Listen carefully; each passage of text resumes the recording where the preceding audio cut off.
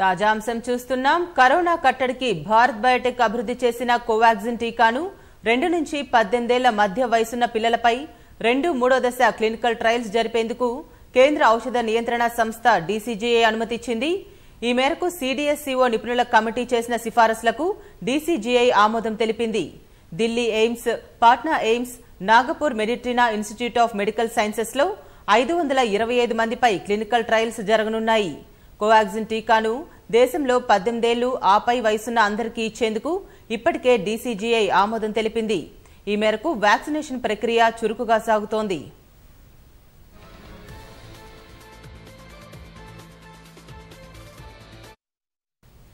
Corona కట్టడికి Bharat Biotech అభివృద్ధి చేసిన కోవాక్సిన్ టీకాను రెండు నుంచి పద్దెనిమిదేళ్ళ మధ్య వయసున్న పిల్లలపై రెండు మూడో దశ క్లినికల్ ట్రయల్స్ జరిపేందుకు కేంద్ర ఔషధ నియంత్రణ సంస్థ డీసీజీఐ అనుమతిచ్చింది.